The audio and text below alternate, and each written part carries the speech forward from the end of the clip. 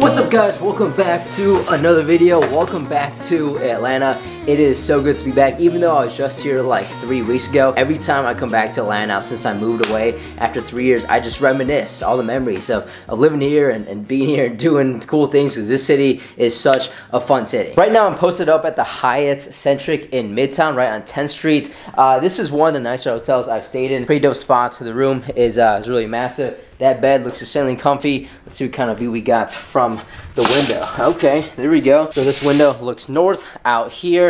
Let me uh, flip the camera around so you can see it. Nice view out there. Very nice. Very nice. Man, I miss the city. I miss the city so much, man. I, I oh, man. It's, it's, it's so cool coming back. Let's see, how's the bathroom look? Let's see. Yeah, I approve of this as uh, as well. I'm back for a work trip even though I moved away and I live in Cleveland, Ohio now. I still work for the same company in Atlanta. So I'm shooting down here often. I'm shooting down here often to go to all the work stuff that I need to, to be at. So let's get into the rest of the video. Cue the intro. I'll explain more as we go on. Hope you enjoy today. Let's go.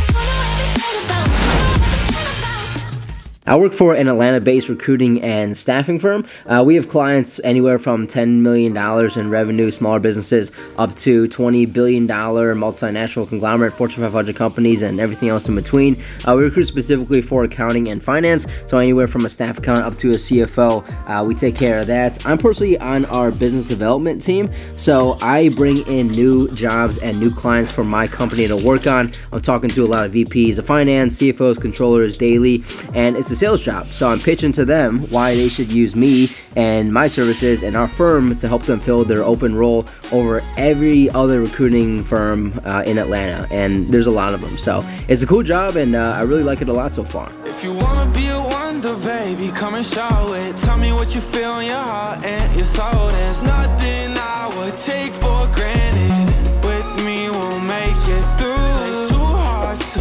heartbreak. We grew apart, I made a mistake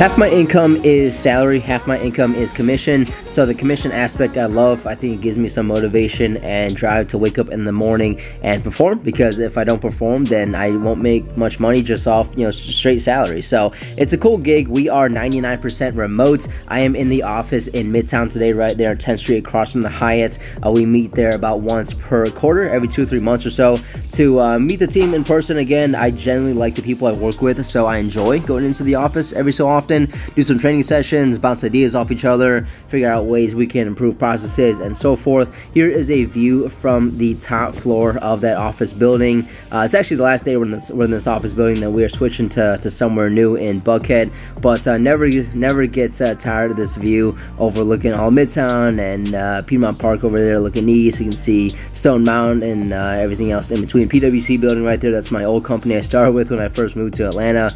Quick shots of uh, inside the office right here. But yeah, it's it's a cool experience. Um, like I said, I like going into the office. If I had a choice, I think I'd actually prefer to go into the office maybe once uh, or two times per week. Uh, working from home is great. It's uh, you really can't beat it. Um, there's a lot of benefits like working from quite literally anywhere. But let's get back to the airport. Time to head back to Cleveland, taking the MARTA over to the airport. It's always a good experience riding the MARTA. Not really, but you do meet some interesting people. I wish they'd upgrade this system, but I'll see you back in Cleveland. It's time to go coach some high school soccer. Parks with the trees and the cars. Brownstone buildings with the kids on the porch. Murals on the walls for the ones that we lost. Bodegas on the corner, let me see what's in store. Subway stations with the maps and the cars. Summer cookouts, uncle got the sandals on. Statue of Liberty, we holding up the torch. If they ask where I'm from, tell them this is New York. We from All right, back in Cleveland and right back to work. Today is our first regular season game as well as our home opener. So I am very excited for that and I uh, hope the boys are as well. Every game day, there's a lot of planning and logistics that goes into it and just just a few of those items is first of all, I got to give a roster to the person in the press box so we can list out the starting lineup. So here's my full roster. We got uh, 25 guys on the roster as well as some information on the school up here for any fans to uh, take a look at in case they might be interested in the school. And then also got to give one to the opposing coach and the refs. So I got to bring three of these papers every single game and mark the starting lineup. And then also got to keep stats every game as well to post online. I got this book. It's called uh, Soccer Official Scorebook by BSN Sports. It is way too official, as in, I mean, they have spots for me to take like way more stats than I need to. Basically, all I need is goals, assists, and uh, goalie saves to, to mark down and keep track of. I mean, I can keep track of whatever I want. This thing even has uh, places to mark where we took shots, like what part of the field we took each shot, and what part of the field the opponent took shots on us. It is uh, pretty crazy. I don't think I'll be getting that detailed out.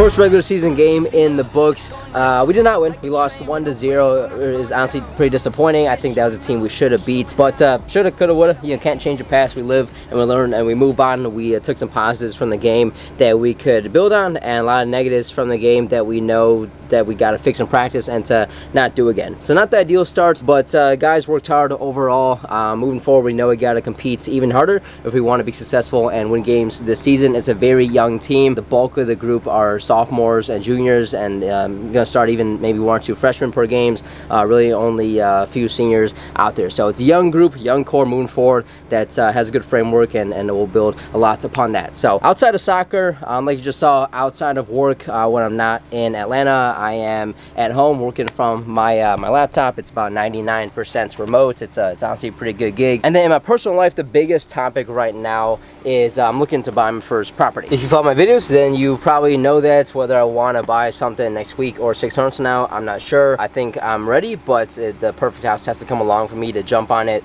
with a purchase as uh, as big as that. But in the meantime, I'm looking to see what's out there, touring some open houses, kind of narrowing down what is important to me. We're gonna go see an open house. Uh, this house looks uh, looks pretty good to me. Kind of checks every box we're looking for. The ideal home that I am looking for has three bedrooms and at least one and a half bathrooms and about 10 minutes from the school. I would like either an attic or a basement and I would also like a decent sized fenced in backyard. This house checks all of those boxes outside of the fact it only has two bedrooms which we can we can work with. I think one of those bedrooms up front would be uh, my office when it gets time in the future to have a family and you know, little little David Quayle's running around. I think it would be definitely time to upgrade. But uh, kind of 15 foot ceilings in this living room. Uh, very nice, very nice. It is relatively updated. Uh, new carpets. I think it does need some paints. However, uh, I'm not trying to break the budget for my for my first house. I just want something basic, something simple. Um, I'm not trying to be too picky, neither is Skylar. Just want something that we could be happy in, and, and, I think we can be happy in a, in a lot of different things if it just makes if it just meets our, our basic necessities. So this house is on the market. It's a lot of houses uh, around this area in a budget are absolutely flying out the market, like within like 48 hours of listing. So when it comes time and we want to jump on a house, we gotta quite literally jump on it, like leave the open house and put in an offer right away because the market is crazy right now. It is uncertain, it's unstable but people are buying homes. The people buying homes, inventory is limited. So when someone finds a house they like, they jump on it, and that's something I'll have to do as uh, as well.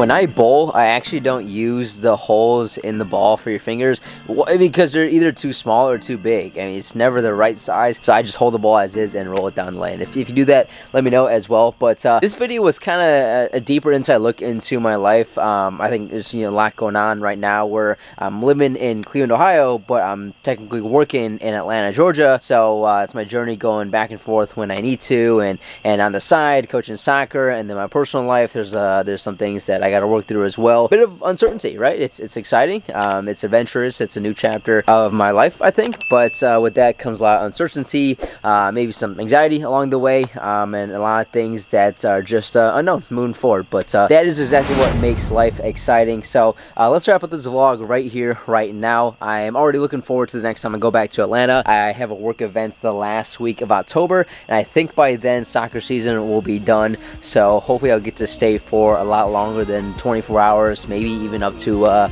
a week or so. In the meantime, if you enjoyed this video, I hope you did, please drop me a thumbs up. I really appreciate it. Also subscribe to my channel if you have not yet because I drop a new video every single Monday that you don't want to miss. As always, guys, work hard, be nice to people. I'll see you guys next Monday.